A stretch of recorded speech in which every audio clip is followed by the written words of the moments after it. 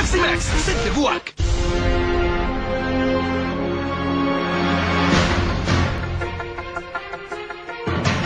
خالد يوسف مخرج.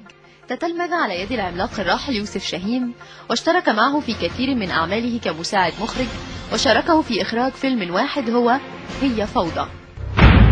اوعوا تكونوا فاكرين البلد سايب. البلد فيها حكومة. الحكومة دي هي أنا. في قانون واحد بس. قانون حاكم اطلع بطاقتي. فين الفلوس غصب عني لما بزهق ببقى وحش. مش على نفسك. هي خرفتك ولا حكمت عليك ما تكلمنيش. احترم البدلة اللي انت لابسها بدل ما اقلعها لك. قلعها لمين يا عايز تعمل لها عمل ودي وافحالها يا عيب يا ابن العيبة. وشرف أمي انك توصلكم المرة دي.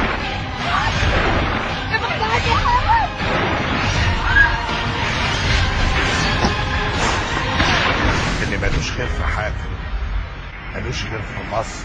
ولد يوسف في مدينة كفر شكر وتخرج في كليات الهندسة بشبرا جامعة بنها. وأثناء الدراسة لفت الأنظار بموهبته الفنية فسلك طريق التأليف والإخراج. واستطاع بأفلامه التمهيد لثورة الخامس والعشرين من يناير. من خلال تجسيد الواقع بكل مراره وتحمل خالد يوسف النقد اللاذع وخصوصا بعد فيلمه حين ميسرة. مش أشوف الدنيا بتاعتنا دي محروقة بجاز وسخ خلينا نخلص. هو إحنا مش موجودين ولا إحنا مش باينين؟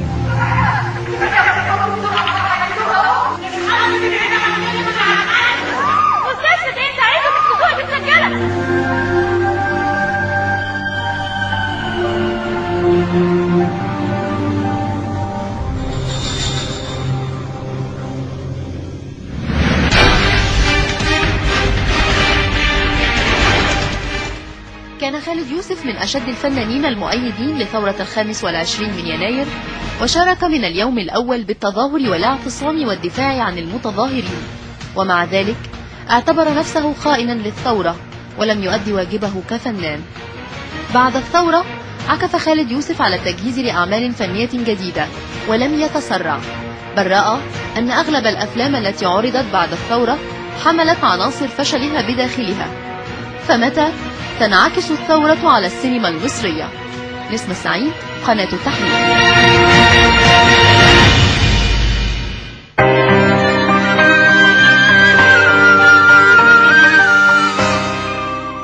مش ممكن نقول إنه بس مخرج جريء في أفكاره ولا إن نزول لبنان التحرير للمطالبه بإسقاط النظام كان وليد اللحظة.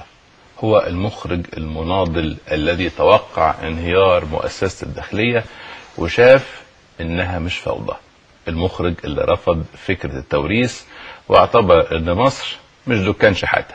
دافع عن الشباب المتظاهرين دفاع مستميت ونسي نفسه كفنان ما صورش مشهد واحد داخل الميدان.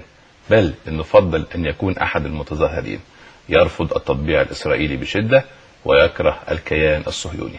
ضيفنا النهارده السياسي والفنان والمخرج الكبير خالد يوسف. خالد إزاي؟ أهلا بيك. ميرسي على المقدمة بس أنا فنان. مش مانيش سياسي ومانيش يعني ما- مانيش الأوصاف الجميلة اللي أنت قلتها. على لكن الحقيقة أنت ليك مواقف آه، محترمة ربنا يخليك. وعظيمة والواحد بيسعد بيها. وأنا الحقيقة قدرت جدا موقفك الأخير اللي عملته في افتتاح مهرجان الإسكندرية السينمائي. لما طلبت بالافراج عن الطالب فادي نبيل طالب المعهد على السينما إحنا كمان كنا طالبنا قبليك هنا في الميدان بالافراج عنه فكان موقف محترم الحقيقة. فأنا الحمد لله وافرج عنه. آه لا الحقيقة موقفك كان محترم وليك مواقف عظيمة الحقيقة بنسعد بيها. يخليك. خلينا نتكلم في السياسة شوية ولا نتكلم في الفن شوية؟ زي ما انت عايز. نتكلم في السياسة. اولا إيه رأيك في صفقة تبادل ال- الأسرى التي قامت بها الحكومة المصرية مؤخرا؟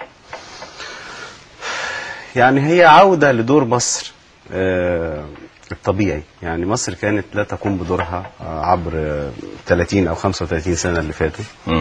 آه، الآن ليس صدفة أن آه، أول صفقة محترمة كده يسعد بها الشعب الفلسطيني عبر ال 20 سنة اللي فاتت تبقى الصفقة دي تيجي بعد الثورة. وده تقدير ل آه، أنا رأيي لثورة 25 يناير أكثر مما أي من أي شيء آخر. لأن ثورة 25 يناير هي اللي أعادت لمصر هيبتها في المنطقة العربية هي اللي أعادت لمصر دورها في المنطقة العربية هي اللي خلت الناس ترجع تقول ارفع راسك فوق انت مصري. مم. الناس كانت بتتكسف من الجواز السفر بتاعها وكانت بتخبيه في الغربة. دلوقتي الناس في المطارات وحضرتك أكيد شفت بعينك إن لما بيتشاف إن أنت جوازك مصري بي- بيتم ترحاب شديد بيك لأن إحنا عملنا نموذج نموذج للثورة مشرف جدا. يعني إحنا أهدينا البشرية نموذج مغاير لكل الثورات آه، نموذج متحضر لم يحدث في تاريخ البشرية أنها قامت ثورة ب- بهذه بهذه الروح الحضارية اللي كانت موجودة في 25 يناير. فالصفقة أنا بتصور أنها يعني ناتجة من إعادة بقى ال- ال- الحاجات لمكانها الطبيعي. مصر دلوقتي تستطيع أن تقوم بدور فاعل في القضية الفلسطينية وده قدرها. وده ليس دفاعا عن أشقاء الناس. فاهمة ان أو في بعض الناس طبعا بتفهم إن إحنا بندافع عن قضيه فلسطين إحنا بندافع عن أشقاء. هو ده أمر طبيعي صحيح ولكن طب يزيد رأيك إيه في موضوع إعادة تصدير الغاز مرة أخرى لإسرائيل وفتح السفارة الإسرائيلية في مصر؟ بص أنا فتح السفاره أنا آه، آه، السفارة الإسرائيلية تحديدا في مصر. أنا من الجيل اللي قعد آه، عشرات السنين يتظاهر عشان نوصل بس لكوبري عباس. أنا أذكر آه، المظاهرات الشهيرة جدا اللي حضرتها في آه، كانت في منتصف الثمانينات حضرها كل القوى الوطنية جم قدام باب جامعة القاهرة كده واستنونا. كان منهم إبراهيم شكري خالد محي الدين خالد عبد الناصر العظيم فتحي رضوان. فتحي رضوان كان في الصفوف الأولى وتقدم من ضابط. أنا بذكر لك موقف لا يمكن أنساه عشان أقول لك يعني إيه فتح السفارة بالنسبة لي أو العالم الإسرائيلي إيه بالنسبة لي. وأنا شاب صغير وبشوف فتحي رضوان ذلك المثقف الكبير وذلك ال- الرجل اللي اسرى فعلا حركة الثقافة المصرية. تقدم من الضابط وسلم عليه اللي هو اللواء اللي واقف قائد القوات. والتاني طبعا عارفه إنه كان وزير سابق فقال له أهلا يا فتحي بيه. قال له سوف يذكرك التاريخ ويسجل في صفحات من نور فاكر كلامه بالظبط أن ضابطا مصريا شريفا. سمح لهؤلاء الفتية أن يخلصوا هذا الدنس العالق في سماء القاهرة. هو كان ب... تا تا تا الراجل قال له أستاذ فتحي أنا عندي عيال. فكان عندنا شوق لأن إحنا نشوف ما نشوف سماء القاهرة من غير علم فلسطين من عي- من غير علم إسرائيل. فأنا لما نزل علم إسرائيل من سماء القاهرة كان عندي فرحة آه، شأني شأن كل الملايين اللي حلموا بهذه اللحظة أن, يتخ... أن نخلص هذا الوطن أو سماء هذا الوطن من هذا الدنس العالق. آه، فتح السفارة الإسرائيلية مرة أخرى آه، ممكن أجد ما يبرره الآن من أن المجلس العسكري بيحكم فترة انتقالية. ليس له أن ينقض اتفاقيات وليس له أن يبرم اتفاقيات آه، استراتيجية على ال- المستوى ال- المدى الزمني الطويل. وده أمر مك- مكفول لهذا الشعب عندما يقرر إرادته الحره في البرلمان وفي رئيس منتخب. آه، يقرر ما شاء بقى يعيد مرة أخرى فتح ملف كامب ديفيد أو لا يعيده هذا قرار الشعب. أنا من الناس اللي بطالب لا أطالب بحرب مع إسرائيل لأن مفيش حاجة اسمها حرب دون أن تستعد لها. مفيش حاجة اسمها هتقوم بحرب وأنت اقتصادك مش قوي. لازم تكون دولة قوية فتية عندك نهضة في العلوم. عندك نهضة في. حتى في الفنون. عندك نهضة آه، اقتصادية كبيرة عشان تقول أنا حارب. لكن في حد يبقى مجنون اللي يقول أنا عايز أحارب دلوقتي والبلد حالها بالشكل ده. آه، لا نطالب بحرب عندما نقول لابد إن إحنا نفرض سيادتنا مرة أخرى آه، كاملة على آه، كامل شبه جزيرة سيناء آه، ده مطلب شعبي. أعتقد إن ال- النظام القادم آه، المنتخب يعني سيدرك أن هذه هي إرادة شعبية ولا بد أن ينظر فيها. فالمعاهدات ليست قدسية ليست لها قداسة الأديان عشان ما بص- ما, ما قابلة للتغيير وقابلة قابلة- للتعديل فيما يتوافق مع مصلحة الشعب. لكن هو السؤال النهاردة وإحنا بدأنا نتكلم على الثورة وانت كنت من الفنانين الموجودين في ميدان التحرير منذ بداية الثورة. شايف النهاردة الثورة إزاي؟ هل الثورة خرجت عن الإطار أو عن النسق أو عن الخط اللي اترسمت له في البداية؟ هل الثورة محتاجة لثورة تانية؟ هل الثورة تحولت إلى انقلاب عسكري؟ لا. آه، أنا أنا بتصور إن آه، الثورة انقض عليها الجميع. بما فيها القوى الوطنية التي رفعت شعارات الثورة. يعني أنا بتصور أن المجلس العسكري والإخوان المسلمين والسلفيين وكل القوى السياسية في مصر قد انقضت على هذه الثورة كي تفرغها من محتواها سواء بوعي أو بعدم وعي. آه، سواء بنية خبيثة أو بعدم نيه خبيثة. مم. آم، يعني أنت تخيل هذا السيناريو اللي حصل في التسع شهور لو كان هناك سيناريو آخر قد امتثل فيه المجلس العسكري لإرادة هذا الشعب في التغيير وليس في الإصلاح. وكان قدم مبارك فورا دون أن يكون آه، نقعد شهرين وينتج 11 شهيد تانيين عشان مبارك يتقدم للمحاكمة. كان عمل قانون العزل السياسي وعزل كل من أفسد الحياة السياسية في مصر بقرار كان في وقتها ما كانش حد هينطق. دلوقتي لو عملت عزل سياسي أنت بتعمل آه، في البلد فرت- بتفرتك البلد لأن الأصوات قد علت مرة أخرى وبدأ ناس تكفر بالثورة من كتر ما ما شافت آه، اللا أمن اللي موجود وشظف العيش. فالقرارات كلها ال ال وعدونا يعني أو مش وعدونا الثورة كانت تطلب دستورا جديدا ينظم الحياة السياسية وينظم عمل المؤسسات قبل أن تعمل المؤسسات. فوجئنا ب- بمجلس الشعب قبل الدستور. يعني كل السيناريو اللي عمله المجلس العسكري والقوى الوطنيه لم تستطع أن تتصدى ليه وبحثت عن غنائم آه، سريعة أعتقد هو اللي خلى شكل الثورة بهذا الشكل في هذه الأيام. هو اللي خلى المواطن دلوقتي يشعر باللا أمان ويشعر أن آه، لقمة العيش آه، بقت أصعب من ما قبل الثورة. فله, فله أن يكفر بالثورة له أن يقول الثورة عملت لنا إيه.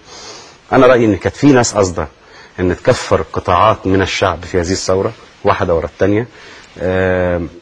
والقوى السياسية نفسها أنا بتصور كان عندها ضيق أفق شديد جدا و- وكانت تبحث عن غنائم فورية. يعني أنا من أوائل الناس اللي اتهمتهم بأنهم يبحثوا عن غنائم كانوا الإخوان المسلمين. كنت بقول إن الإخوان المسلمين أشبه بمسلمين غزوة أحد عندما لاحق الانتصار نزلوا جري يعملوا الغنائم ياخدوا الغنائم ف آه، فانهزموا. وما سمعوش كلام رسول رسولنا عليه الصلاة والسلام. آه، فأنا اكتشفت إن بعد ما قلت هذا الاتهام أن كل القوى السياسية قد حذوت نفس الحذو يعني ومشيت على نفس الخط وكلها آه، حاولت تاخد مكاسب سريعة اللي عايز عضوين في البرلمان واللي عايز خمسة ويعمل صفقات ويعمل ونسوا. الشارع ونسوا الثورة نسوا الثورة وأهداف الثورة مم. يعني ووقفوا ضد يعني ضد المطالب ال- الحقيقية للثورة الثورة دي قالت عدالة اجتماعية لم يتحدث كل القوى السياسية لا تتحدث عن العدالة الاجتماعية لا تتحدث عن أن أن يكون لكل فرد من نص- من, من هذا الوطن نصيب عادل من ثروة بلاده. إزاي الناس تعيش أحسن بعد الثورة؟ ما حدش يتكلم على ده. إزاي أعيش آمن؟ أنا كنت في عصر مبارك أنا كمواطن عايش آمن. صحيح مش عايش آمن من النظام لكن على الأقل عارف أمشي في الشارع. فأنا دلوقتي بقيت خايف على بناتي خايف على أولادي خايف على مراتي خايف على إخواتي. كل ده أنا رأيي كان مقصود إن الناس واحدة واحدة تكفر بالثورة. في ناس لها مصلحة ان الناس تكفر بالثورة وفي ناس آه، بضيق أفق و- زي مين؟ زي كل آه، كل أعمدة النظام السابق. وكل من آه، له علاقة بالنظام السابق. اما أجي أقول على المجلس العسكري خليني أقول صريح بشكل صريح هقول لك إنه المجلس العسكري ليس وليس مطلوبا منه يعني بالمناسبة ليس ثوريا. ده في نهايته مؤسسة عسكرية تقليدية قائمة على النظام والضبط والربط. قائمة على عقيدة عسكرية تتعلق بأنها تدافع عن الوطن عندما آه، آه، يعني تجتاز يجتاز أي أحد أي حدود. آه، لكن ما هياش عمرها كانت ولا كان مطلوب منها إنها تبقى عندها افكار ثوريه ولا هي من قامت بالثورة. آه، فالمشكلة إن هي اللي تولت مقاليد الأمور. فلها فهم للثورة والثوار نفسهم اللي قاموا اللي هم كانوا طليعه هذا الشعب أو الشعب كله السائر ده كان له مطالب مغايرة تماما. آه، لا المجلس العسكري استطاع أن هو يلبي آه، طلبات الناس ولا القوى السياسية اللي بنسميها النخبة والطليعة والقاطره اللي بتجر المجتمع استطاعت أن تصل توصل لمسامع المجلس العسكري الرغبة الحقيقية للشعب ده في التغيير. فقام المجلس العسكري بمجموعة من الإصلاحات كان ممكن مبارك يعملها. يعني ما ما فيش حاجة حقيقية حصلت على أرض الواقع تقول في ثورة. الثورة علم التغيير زي ما دايما بقول ما حصلش التغيير. فطول ما ما حصلش التغيير أنا بقول لك أن الثورة لم تكتمل. وهي بع- بعتقد إن إحنا دلوقتي في سكة إن أن تقوم مرة أخرى هبة لهذه الش- لهذا الشعب. لأن أنا دايما بقول- تانية تقصد؟ مش يعني ثورة تانية بالمعنى الحقيقي لكلمه ثورة تانية. هي الثورة خلاص قامت. ونجحت على فكرة. يعني مش لكن لم تكتمل لم تكتمل بمعنى إنها مش ماشية على قضيب القطر المظبوط. خلي بالك الناس خايفة إن هذه الهبة تأتي من العشوائيات ثورة الجياع. لا أعتقد. الشعب المصري ادانا درس في هذه الثورة إنه أعظم مما تصورنا وإن العقل الجمعي المصري آه، أكثر تحضرا مما كنا نتصور. آه، الشعب ده أول ما حس يوم 28 بالليل إن في خطر ما لقيتش فيه بلطجي في الشارع. كل الناس نزلت حمت بيوتها وانتفت ظاهرة البلطجة وظاهرة ال- السطو المسلح وما كانش فيه حادثة سرقة في اليومين الثلاثة الأولانيين دول والشعب حمى نفسه تماما من غير أي جهاز شرطة ودي نادرة. أعتقد ما حصلتش في تاريخ أي مجتمع إن شعب يعيش بلا أي دولة أمن و- ويبقى آمن. فأنا بتصور إن إحنا عدينا مرحلة الخطر بتاع ثورة الجياع. يعني أنا كنت من الناس اللي كانوا بيبشروا بثورة جياع إن جاء جمال مبارك. يعني الدكان شحاتة كان الفيلم برؤيته إن لو جاء 2013 ومشي سيناريو التوريث ستكون ثورة جياع. الحمد لله إن هذا الشعب قطع آه، هذا ال- الخط ووقف عند الحتة ديت وعمل سطر. فأنا بتصور إنه لن تحدث ثورة جياع لأن خلاص الشعب المصري قطع الخط ده. ومش متصور إنه يستطيع أن يفرط فيما أنجزه في 25 يناير. في عقبات موجودة في آه، آه، مطبات لكن في النهاية آه، عندما يستشعر إن في خطورة بقى على مستقبل البلد وفي خطورة فعلا على إن الثورة ترتد للوراء بشكل كامل صدقني هيهب مرة أخرى يعني مم. كل اللي هو شايفه ده هو قاعد يتفرج كده لغاية ما تيجي لحظة مناسبة يقول لا ده بقى مش ده مش ده اللي اتفقنا عليه بقى وأعتقد إن اللحظة ديت ستجيء إن جاءت نتائج الانتخابات مخيبة لأمال الناس. لأن الانتخابات اللي جاية أنا أنا بتصور إنها برضو من ده من ضمن السيناريوهات السيئة جدا. يعني السيناريوهات اللي إحنا لجأنا ليها في انتخابات مجلس الشعب ده سيناريو سيء جدا. مفيش لا ده طريق ثورة ولا ده طريق بناء دولة. اللي بيحصل دلوقتي إن أنا أعمل تجربة بتعمل تجربة ديمقراطية وليدة لسه بتمارسها لأول مرة فتعمل قوائم أنا كنت من أول لحظة بقول أن لغاية ما يتعمل دستور ولغاية ما الدولة تستقر ولغاية ما ينتخب رئيس جمهورية لازم تبقى الانتخابات فردية. بس. فكرة القوائم الفردية كانت آه، كما تعلم كانت هتعيد الأذان خصوصا في ظل عدم آه، إصدار قانون العزل السياسي كانت هتعيد آه، نفس سيطرة وسطوة رأس المال ونفس آه، الجماعات والعصبيات التي كانت تسيطر في حكومات الحزب الوطني المتتالية السابقة. كانت هترجع تاني. فيمكن فكرة ال- ال- الكومبرومايز بتعمل ما بين قوائم نسبية وفردي كان ده محاوله ده. أعتقد حتى الأحزاب كانوا متحفظين جدا على فكرة كانت نص قوائم ونص فردي. بعدين بقت التلتين قوائم والتلت فردي. وكل ده, ده تحت مسمى الخوف من عودة النظام السابق في البرلمان. ما هو الخوف ده كان يقضي عليه إن بعد يوم 11 فبراير على طول يصدر قانون العزل. وده على فكرة قائم في كل المجتمعات إن من أفسد الحياة السياسية 30 سنة معروفين. ده أمانة السياسات امناء الأحزاب في المحافظات يعني أعضاء مجلس الشعب اللي جم بالتزوير يعني كلهم على بعضهم مش هيزيدوا عن 5000 مواطن. بنقول لهم شكرا أنتوا أديتوا دوركم في إفساد الحياة فاستنوا شوية بقى عشان نعمل مستقبل مختلف لمصر مم. ما تشاركوش فيه خمس سنين وارجعوا شاركوا فيه تاني. لا نقصيهم بالمعنى المطلق. تمام. لو كانوا عملوا كده وعملوا انتخابات فردية كانت أعتقد إنها هتسفر عن را عن إرادة إرادة شعبية حقيقية. الآن ال- إيه القوائم الإشكالية النهارده في القوائم؟ الإشكالية دلوقتي في القوائم إن أنا على المستوى الشخصي عندي مشكلة ضخمة في القوائم. أنا راجل منتمي للتيار الناصري الاشتراكي.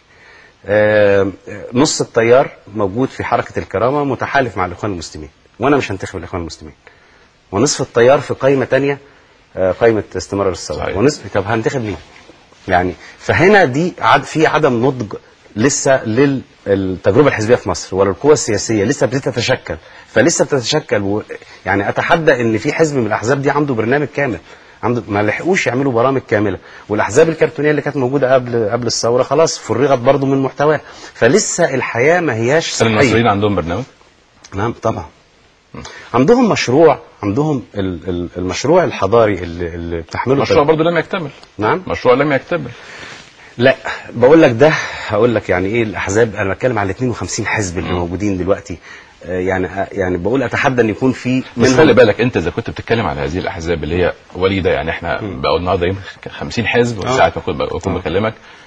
ما هذه الأحزاب عشان تقدر تحتل مكانتها في الشارع المصري عشان تقدر تثبت جدارتها بصوت المرشح أو بصوت الناخب محتاجة خمس سنين مش محتاجة سنة أو سنتين طيب ما ده اللي هل. هتنتظر خمس سنين ما تعملش انتخابات لا؟ خالص ما انت هتعمل انتخابات برلمانية على أساس فردي مم. وبعدين في خلال الخمس سنين ديت انت هتفتح بقى باب الأحزاب زي ما فتحت والأحزاب تمارس دورها في الشارع وتقوى الأحزاب ويبقى فعلا نقدر نعمل تمايز ما بين برنامج حزب وحزب والناس الأحزاب كانت آه، آه، حكر ال- ال- ال- المقرات بتاعتها الأحزاب الآن هت- هتنزل للجماهير وهتلتحم معاها وتعمل قاعدة ليها فهتبقى في حياة حزبية في الخمس سنوات القادمة الأعضاء مجلس الشعب اللي انتخبوا على أساس فردي دول هينضموا لأحد الأحزاب. تيجي تعمل بعد خمس سنين الأحزاب بقى اللي هي قايمة حتى مطلقة. لو عملت قايمة مطلقة هنا أنت هتخلي ال ال ال الشعب ده يتنفس من رئة صحيحة. كده أنا رأيي فيه يعني البرلمان القادم ده ده برلمان الثورة؟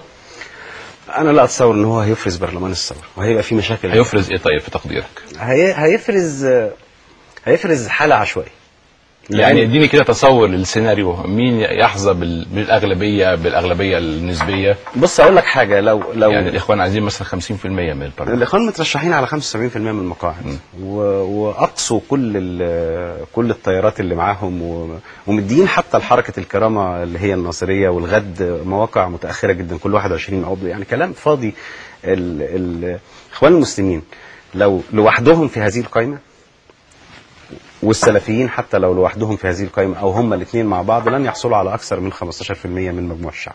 أنا بدعي إن أنا هوى الناس هوى الناس مش ماشي مع التيارات الإسلامية الهوى الحقيقي حتى وده دليل نقابه الأطباء اللي قعدوا يقولوا الإخوان اكتسحوها مش صحيح في 70% من آه، مجالس ال- النقابة مجالس النقابات الفرعية والرئيسية. اسكندرية مثلا اسكندرية كانت معقل الإخوان مثلا. تمام 70% و30% حصل عليهم الإخوان. في ظل نقابة كان مسيطر عليها الإخوان سيطرة كاملة عبر ال 30 سنة. فالناس آه، يعني هوى الشعب المصري ليس هوى آه، في تطرف نحو الدين لأنه هو أصلا متدين. ما بيحبش حد يزايد عليه في الدين.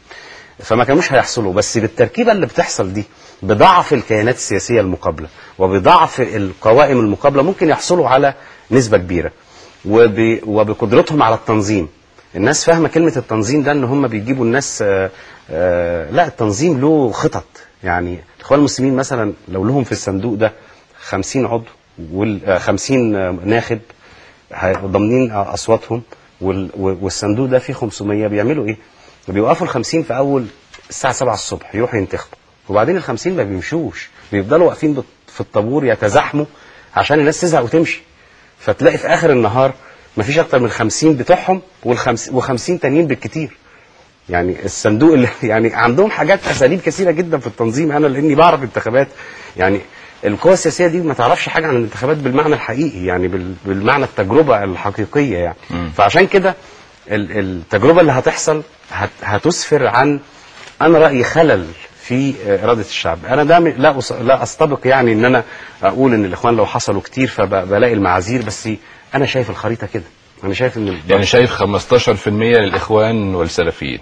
لو- مين تاني؟ لو- لو. لو انتخابات اديرت بشكل اللي أنا بقول لك عليه اللي هو كان النظام الفردي. النظام الفردي أو إن هي تبقى قوائم مطلقة 100% طب بقى. في ظل النظام الحالي تفتكر لا إيه؟ في ظل النظام الحالي الإخوان والسلفيين هياخدوا آه، عدد مش قليل. يعني مش هياخدوا أقل من 40 ل 45% يعني اذا الحكومة القادمة حكومة إخوانية أو لا، ائتلافيه لا، تمثل على فيها حسب- الإخوان لا الغالبيه على حسب الإعلان الدستوري ال- ال- الح- ال- البرلمان مش هو اللي هيشكل الحكومة. مش الأغلبية بتاع البرلمان مش هتشكل الحكومة. اللي هيشكل الحكومة برضه المجلس العسكري. يعني ده الإعلان أنا بتكلم على الإعلان- الإعلان الدستوري اللي القادم الكلام ده بقى فيما بعد. بعد اعلان بعد الدستور الجديد بقى لما يجي دستور جديد يقول جمهورية برلمانية مثلا فيبقى البرلمان بس على الأقل هذا البرلمان هو اللي هيختار اللجنة التي سوف تقوم بوضع الدستور. الدستور. أنا مش قلقان على يعني في. مخاوف من هذه لا، اللجنه أنا في مش ظل.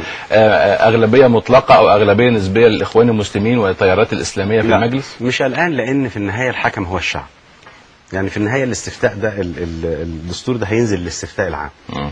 لو الشعب ده أشعر أن الإخوان المسلمين قد صبغوا أو التيارات الإسلامية قد صبغوا هذا الدستور صبغات آه، لا يهواها مش هيوافق فأنا أثق في العقل الجامعي المصري أكتر من من أي ثقة في كل القوى السياسية وكل التيارات السياسية.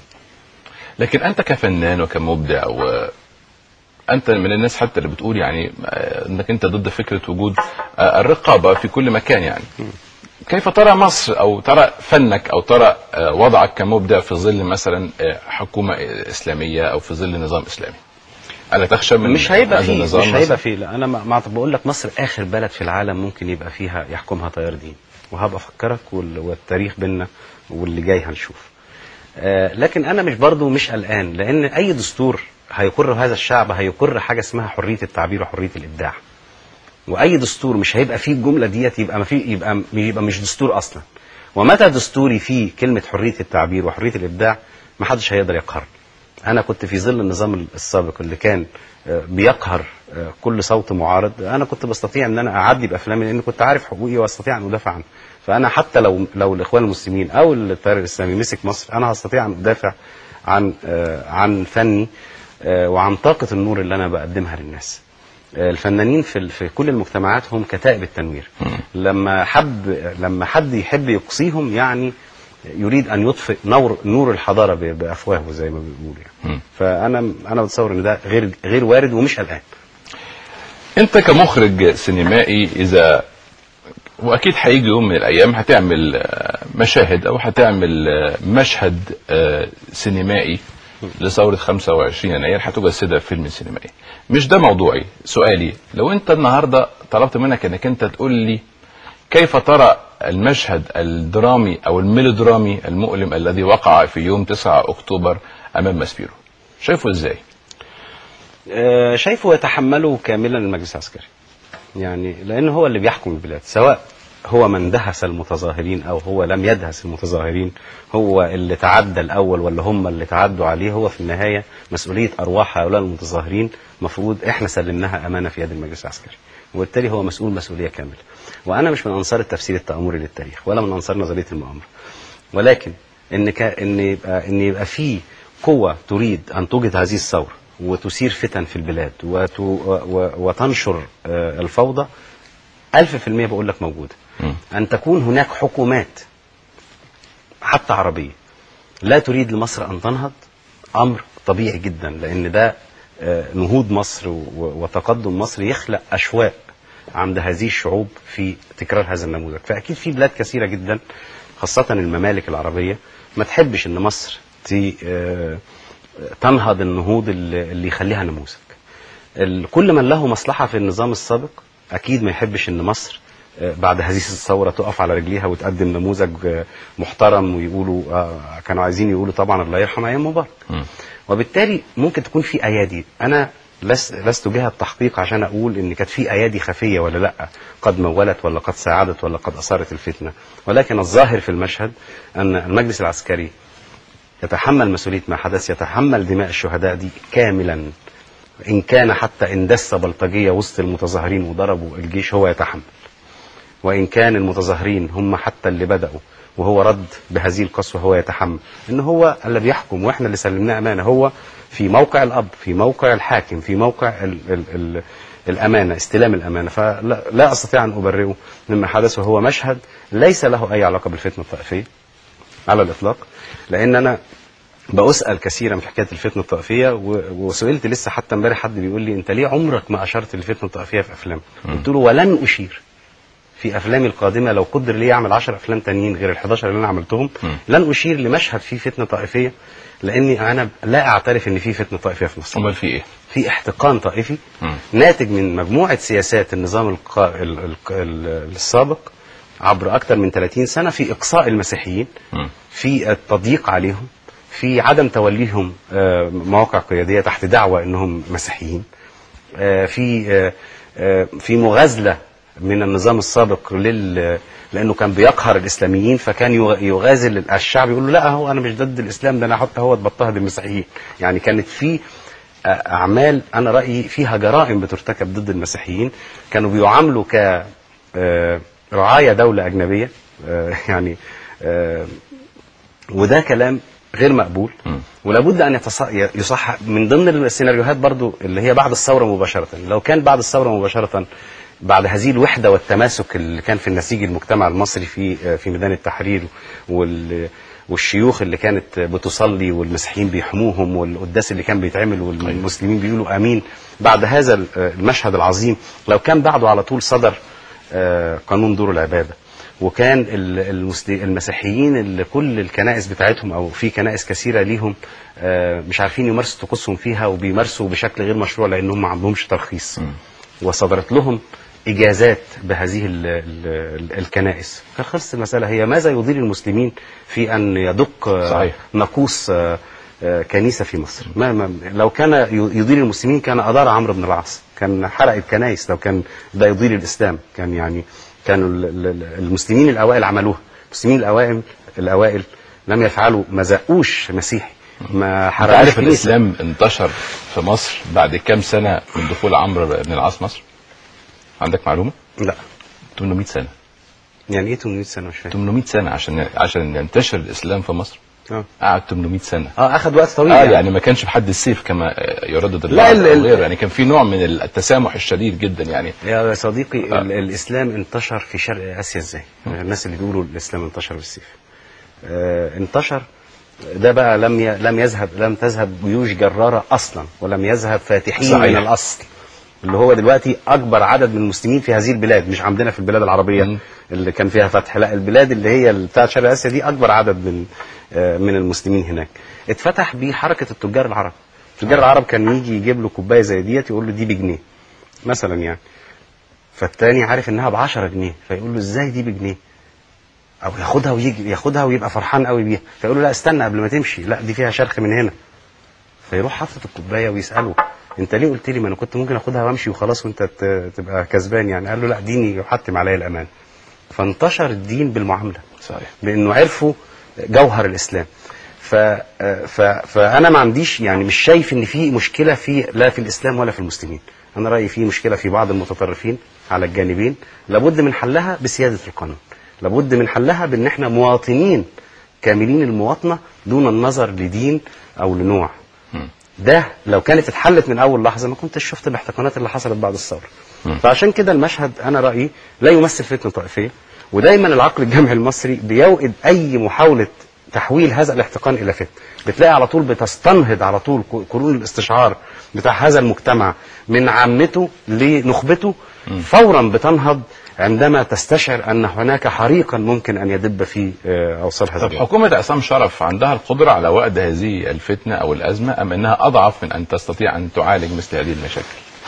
والله حكومة آه، عصام شرف أنا بسميها حكومة غلبانة يعني أنا بأحمل المسؤولية آه، للمجلس العسكري أكثر لأنه هو اللي ما ادهاش اختصاصات هو كان عليها إن هي لما يسحب منها الاختصاصات أو لما تستقيل آه تستقيل آه، تحترم لكن. بالظبط يعني كان كان عليها إن هي في موقف من المواقف دي على الأقل في موقف 9 أكتوبر آه، كان لابد لها أن تستقيل.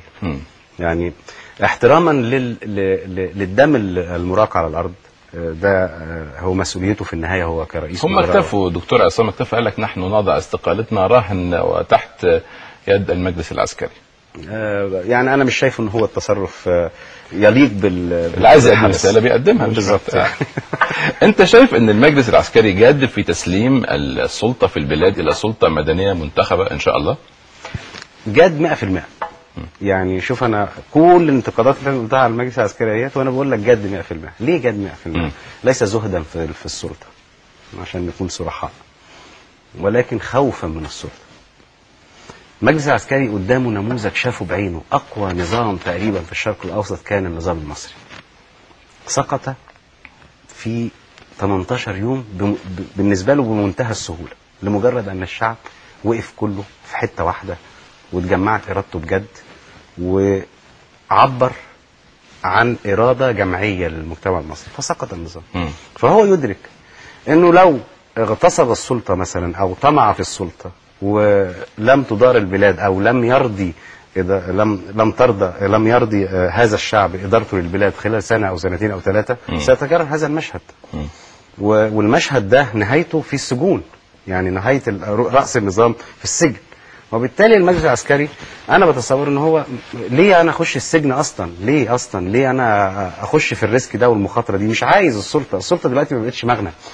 السلطة دلوقتي نهايتها السجون و... و... والضرب بالنار في الشوارع زي القذافي أو أو الهروب زي زين العابدين السلطة ليست بس تفتكر المجلس ممكن يقبل إن هو يبقى القائد الأعلى للقوات المسلحة المصرية رجل مدني ال- ال- المجلس العسكري يمكن بقائه حتى هذه اللحظة غير إن هو بيحاول إنه يمرر البلاد من هذا النفق يعني مم. ويحافظ على أمن البلاد مم. هو يريد برضو أن يطمئن على مؤسسته العسكرية أن لا تمتد إليها يد العبث.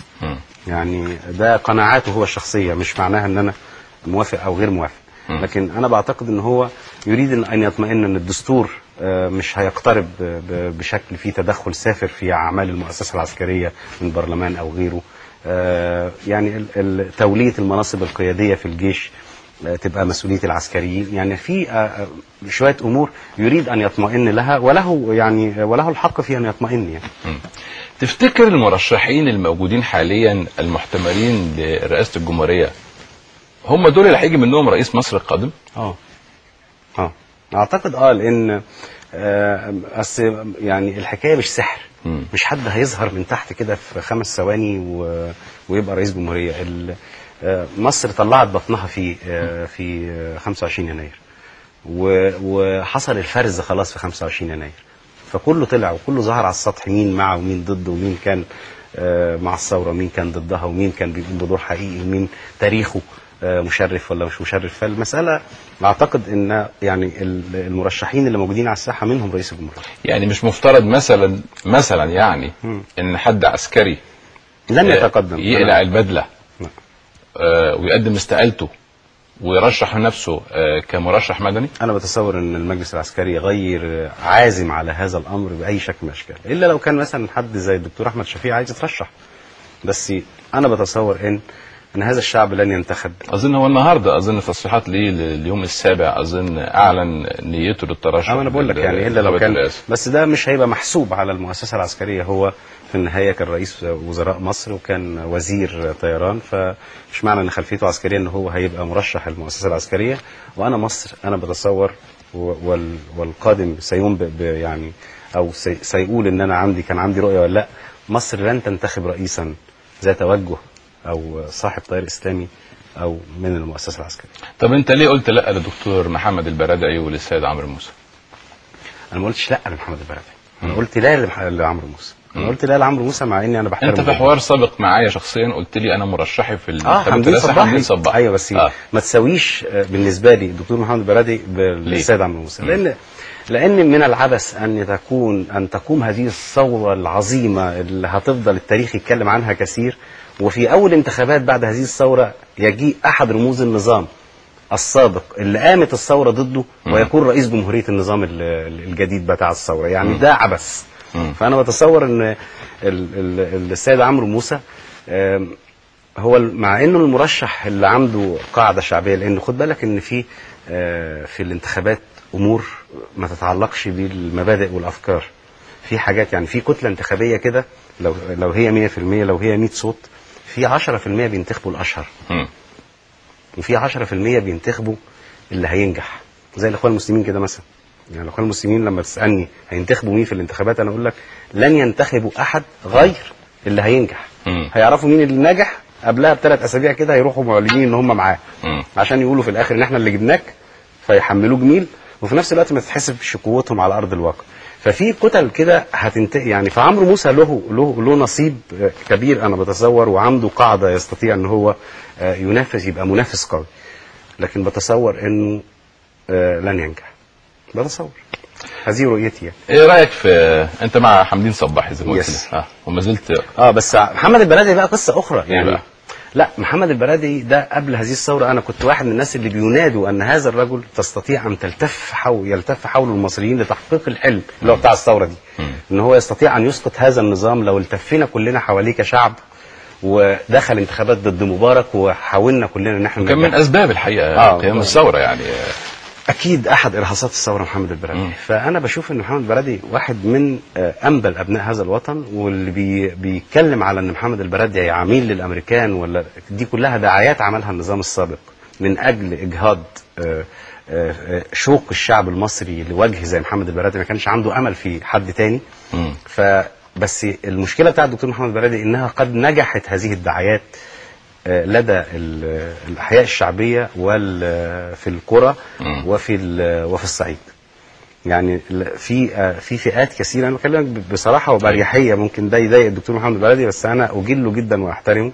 للأسف هذه الدعاية آه، أثرت جدا في شعبيته في الأماكن ديت والناس بتتكلم فعلا عليه بنفس منطق النظام السابق.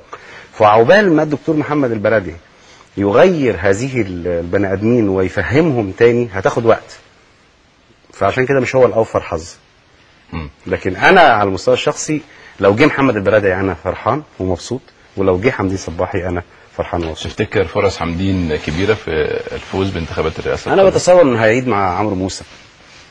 آه يعني هقول لك حاجة آه أنا اللي أنا بقوله ده ما بينفعش يتقال في برامج بيتقال في قعداتنا بس أنا اتعودت إن أنا اللي بقوله في قعداتي بقوله على الهواء آه عمرو موسى ممكن يحصل على 40% حمدين صباحي ممكن يحصل على 20% بقية المرشحين اللي يحصل على 18 وعلى 15 بيحصل الإعادة ما بين حمدين و... وعمرو موسى. لو حصلت الإعادة ما بين حمدين وعمرو موسى حمدين هيكسب. لأن كل اللي, اللي إدوا اللي كان 18% واللي كان 15% واللي كان 10% هيدي حمدين مش هيدي لعمرو موسى. دي ده رؤيتي للي هيحصل. قد أكون في الآخر مش توقعات. عاطفية خالد؟ نعم. مش توقعات عاطفية؟ والله العظيم ما فيها عاطفة خالص فيها قراية للواقع لل- للي جاي. في النهاية مانيش آه، يعني مانيش متنبئ يعني أنا أنت مش شايف. المرشحين الإسلاميين خالص يعني الدكتور لا. محمد سليم العوا الشيخ صلاح أبو إسماعيل آه، آه، الدكتور آه، مصر لن يحكمها التيار الاسلامي أنا بقولها قاطعة وسنرى والمستقبل ناظره ده قريب في يعني. دكتور عبد المنعم الفتوح برضه رجل يعني قوي أنا بحب جدا عبد المنعم مفتوح آه. راجل مناضل وراجل محترم جدا بس أنا بقول لك مصر لن يحكمها تيار إسلامي وأنا لاني من قلب طين هذه الأرض وعارف فلاحينها وعارف الصعايده بتوعها وعارف احيائها الشعبيه فعارف هواهم لا ادعي ان أنا اتحدث باسمهم أو اصادر عليهم لكن أنا بقول ده احساسي اللي هو قد يصدق وقد يخيب آه، تقييمك إيه لفكرة القوائم السوداء اللي اتعملت للفنانين بعد الثورة؟ هل اصبحت مقبولة النهارده ولا يجب اعادة مراجعتها مرة ثانية؟ لا يجب اعادة مراجعتها. لأن آه، أنا وده أنا قلته إن ال- المستشاره هاني الجبالي نائب رئيس آه، المحكمة الدستورية العليا كلمتني بعد الثورة بشهر وكانت في ذروة بقى فكرة الإقصاء والقوائم السوداء دي لازم آه، الناس تتسحل في الشوارع وكل من لم يؤيد الثورة كان يعني ما كانش في صوت بيعلو آه، على صوت الثورة في وقتها وكانت الدنيا أنت فاكر يعني. فقالت لي خالد أنتوا عندكم مشكلة ضخمة مصر داخلة على تشكيل مستقبل جديد. المستقبل ده إذا لم يشارك فيه كتائب التنوير اللي هم الفنانين هيبقى مستقبل مظلم. الدساتير يكتب يكتبها قالت لي كده بالظبط الفنانين والشعراء والحالمين. ما بيكتبوهاش القانونيين اللي زينا. فلموا بعض حتى اللي ما كانش مع الثورة وخليكوا كتلة واحدة عشان تشاركوا في صنع. آه، آه، مستقبل مستنير لمصر. وأنا مؤمن بما قالته سياده المستشاره وشايف إن إحنا كفنانين حتى اللي ما وقفش مع الثورة بشكل صريح حتى اللي كان اللي كان خايف وكان واقف آه، بين البنين. علينا أن نضم مرة أخرى ولان إحنا محتاجين حشد محتاجين إن إحنا نحشد طاقاتنا كلها لأن في طاقات حقيقية في طاقات يعني لو كان آه، آه، وده قلته بقى بعد الثورة بدقيقتين في قناة الجزيرة تعليقا على نجاح آه، أو تنحي مبارك مباشرة بعد نجاح الثورة قلت لما قالوا لي على القوائم السوداء قلت كلمة عن أم كلثوم. كانوا حاولوا يقصوها بعد ثورة 52 تحت دعوه قال لهم رئيس عبد الناصر عندكم الهرم روحوا هدوه. آه. ف... صحيح. فلم يقصيها عبد الناصر فلو كان لو كانوا أقصوها ما كانش عندنا سيدة الغناء العربي. ففي طاقات مواهب كبيرة ما ينفعش إن إحنا نقصيها عشان نعرف نصنع مستقبل. أنت تطالب اذا بإلغاء القوائم السوداء مثلا؟ أنا أطالب بإلغاء القوائم السوداء فيما عدا اللي تسبب في دماء في دماء شهداء. يعني اللي استعدى. اللي جه كده طلع على الهوا وأنا عارفهم كده بالاسم يعني سواء إعلاميين أو فنانين. وقال اللي جوه الميدان دول خونة ومأجورين وبياخدوا فلوس وروحوا طهروا الميدان منهم. ده فيها يعني آه، بيسموها إيه بالقانون؟ آه، آه، حد بيستعدي تحريض. تحريض. فيها تحريض على القتل. فيما عدا دول اللي كان له رأي اللي والله اللي إحنا عملناه ده كويس قوي وكفاية كده. إحنا اخوات البنات كانوا بيقولوا كده. كفاية كده إحنا خدنا الدستور آه، آه، تعديلات دستورية وشال أحمد عز وشال ما أعرفش مين. إحنا كنا نحلم كفاية كده وكانوا خايفين لأنهم كانوا في البيوت خايفين. فاللي كان موقفه كده كان فقط عشان خايف وان الحكاية ما تكملش وتتحول لفوضى. أنا لابد أن ألتمس له العذر. والإمام الشافعي بيقول التمس لأخيك إيه؟ من عذر إلى سبعين. فإن لم تجد له عذر فقل لعل له عذر لا اعرفه كلمني عن فيلمك الأخير كف القمر آه إحنا ما الفيلم شفناهوش لسه لكن سمعنا إن كان ليه رد فعل كبير لما اتعرض لأول مرة في مهرجان الحمد الاسكندريه لله السينمائي. يعني كان رد إيجابي جدا وهو الفيلم هيتعرض يوم 1 نوفمبر. آه اللي جاي آه يعني يوم الثلاث اللي جاي العيد بقى. نعم آه على. بس قبل العيد بأربع خمس أيام كده عشان الناس اللي ما بتحبش زحمة العيد تتمكن إنها تشوفه وأتمنى إن الجمهور يتلقاه زي ما تلقاه جمهور اسكندرية في مهرجان اسكندرية. لأن كان الاستقبال كان هايل جدا هل كان في أي آه، سرد لأحداث الثورة أو إدخال لأحداث لا الثورة خالص أنا أصلا خلصت الفيلم قبل في. شهر 12 2010 ولم تمتد يدي له بالسلب ولا بالإيجاب غير في كادر واحد يتعلق بالإهداء مم. كنت أهديت الفيلم لحامد حمدان لروح حامد حمدان لا اللي هو. مهندس الديكور اللي توفى مننا في آه،. فيلم كلمني شكرا فلما جت الثورة صعب عليا إن أنا كمان ما أهدهوش لشهداء الثورة فأضفت بس للإهداء ده الكادر الوحيد اللي اتصرفت فيه. مم. اهداء لحامد حمدان وشهداء الثوره لكن ما أضفتش عليه لا حاجة لا بالسلب ولا بالإيجاب من وقتها. وفي ناس شافوا الفيلم. يعني في آه، آه، أستاذ نجيب ساويرس والأستاذ كامل أبو علي واستاذ سمير فريد الناقد الكبير وفي أستاذ مجدي الجلاد آه، أحمد المسلماني أسامة صفار. يعني مجموعة من الصحفيين شافوا الفيلم في شهر 12 2010 مم. وهو زي ما هو ما غيرتش فيه حاجة. شايف النهارده الأفلام اللي بتتكلم عن الثورة أو التي تحاول إقحام الثورة يعني شفنا في رمضان اللي فات مثلا مسلسلات في رمضان كانت بتنتج قبل الثورة وتم تعديلها وتطويرها حتى تواكب أحداث الثورة وانتهت الأحداث في أغلب المسلسلات بالثورة. بالثورة شايف ده إزاي؟ يعني ما بقدرش أدي آه، رأي جازم في المسألة ما لم أشوف العمل مم. لأن في ساعات بالصدفة البحتة في عمل ممكن يبقى حمال يعني يحتمل الحكاية دي مم. كان آه، روح هذا العمل كانت روح روح روحه نفسها كانت روح ثورية مم. كانت ممكن تؤدي في النهاية لهذا المشهد مم. فوارد إنه ده يحصل وهي استثناءات قليل لكن في مجمل الظاهرة أنا بشوفها آه، ظاهرة فيها محاولة للركوب على هذا الحدث مم. يعني حدث كبير زي ده لما تيجي تتلقاه فنيا لابد إن أنت تهدى بعد قد. إيه تقريبا؟ فكر خالد يوسف ممكن تعمل فيلم سينمائي يسرد أحداث ثورة 25 يناير.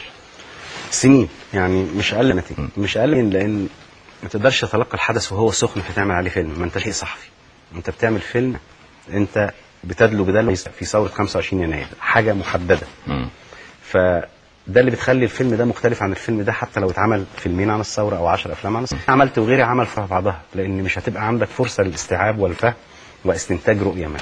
فمش هيبقى فيه تميز فالافلام ال- الأفلام السينمائية والروايات ال- دول من أدوات التعبير الإنساني اللي بيسموها أدوات هاضمة يعني مش أدوات آه، سريعة لا لابد أن تهضم وتستوعب وتتأنى عشان صورت حاجة في التحرير يا خالد؟ لا. فترة الثوره ما عرفتش أصور خالص في يوم واحد بس كده بعد ست شهور من الثورة حاولت جبت كاميرا كده وطلعت الإرادة آه وطلعت آه. فوق والناس منعتني الناس تحت في الميدان شافوني فوق حد. آه. فقعدوا يشاوروا لي إيه انزل انزل. يعني إزاي أنا بصور وسايبهم تحت؟ مم. فسبت الكاميرا ونزلت معاهم. فدي كانت لقطة وحيدة وما لحقتش أعملها. أخوك ضابط الشرطة ما زعلش منك لما لقاك بتعمل هي فوضى بتنتقد في أداء مؤسسة الشرطة؟ زعل جدا. زعل جدا. آم، مفيش ضابط في مصر ما زعلش مني. يعني آه، في وقتها كانوا متضايقين جدا. وما زعلش منك لما كنت من ضمن آه، الثائرين الثوار في ميدان التحرير؟ لا. يعني في دي بقى وغير ده كان الغريب والمدهش يعني إنه آه، أخويا اتعرض للاسم بتاعه لاقتحام من البلطجية واتضرب عليه مولوتوف وكان يعني كان آه، مدير الأمن قال لي كده يعني كلنا معرضين للشهادة يا أستاذ خالد. يعني أنا بكلمه عايز أطمن عليه إنه محاصر فقال لي كلنا معرضين للشهادة يعني تقريبا كان بيبلغني شهادة أخويا يعني. فعاش موقف صعب جدا في يوم 28 يناير. ومع ذلك ما يعني لما خرج من هذا الموقف العصيب ما كانش متضايق إن أنا في- جموع السائرين دول. خالص على الإطلاق. تفسيرك إيه للغياب الأمني اللي حصل؟ إن مفيش إرادة لأن يبقى في أمن. يعني لو كان المجلس العسكري عايز يبقى في أمن هو وزارة الداخلية هيعملوا الأمن.